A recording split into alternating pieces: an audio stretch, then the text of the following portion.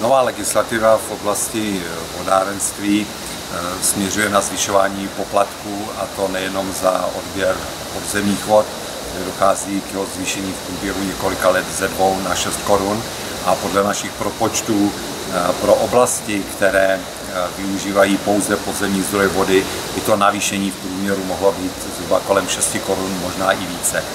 Dalším bodem té legislativy je i navýšení poplatků za vypouštění odpadních vod i čištěných a tam samozřejmě ten nárůst by mohl být ještě vyšší, protože ty nové technologie a nové limity, například na fosfor a dusík, znamenají opravdu výrazně, výrazně kvalitnější způsob čištění.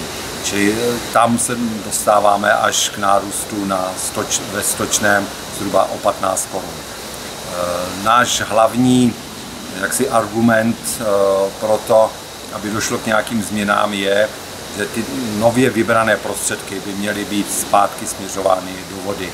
My se potýkáme s tím, že je neustále dáváno málo prostředků na údržbu a na vývoj, na obnovu vodárenské infrastruktury a bohužel ty poplatky a jejich zvyšování přichází v období, kdybychom rádi posílili právě tu údržbu.